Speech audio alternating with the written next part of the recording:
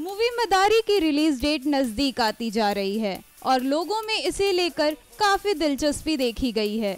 मंगलवार को मुंबई के सनी सुपर साउंड पर मदारी की स्क्रीनिंग रखी गई, जहाँ डायरेक्टर निशिकांत कामत और एक्टर इरफान खान नज़र आए। इरफान इंटरनेशनल फ़िल्मों पर काम कर चुके हैं और कई डायरेक्टर उनको अपनी मूवी में भी लेना चाहते हैं। इसलिए स्क्रीनिंग पर हंसल मेहता मधुर भंडारकर, डेविड धवन जैसे कई बड़े डायरेक्टर नज़र आए। मदारी एक सोशल थ्रिलर मूवी है, जिसमें सन और फादर के रिश्ते को दिखाया गया है। मदारी के बारे में जानना हो तो आपको शुक्रवार का इंतज़ार करना होगा। लगता है बॉक्स ऑफ़िस पर इरफान छाने वाले हैं, क्योंकि साथ में कोई बड़ी मूवी रिलीज़ नहीं हो रही है।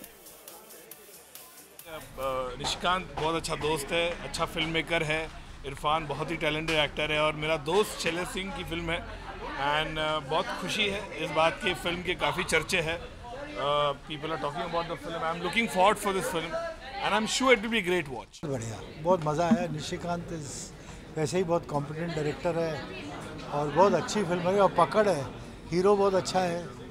बच्चा बहुत अच्छा है। The script is very good way Dev edited the film also is fantastic मैं खुद एडिटर हूँ इसलिए मुझे बहुत ही अच्छा लगा काम किया आरिफ ने। तो overall it's a good film hold करती है।